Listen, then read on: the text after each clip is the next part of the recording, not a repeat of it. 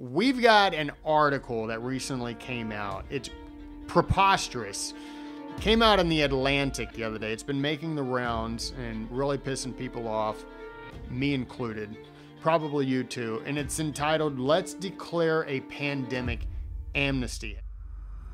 Want to see what it is that they want to do. Are they just wanting to wash their hands and say, okay, let's just move on? No, no, no, no, no, no, no, no. I, I just thought the nerve of this person to write this article and the nerve of the Atlantic ed- editorial board to go ahead and put this out there to ask for amnesty and say, look, mistakes were made.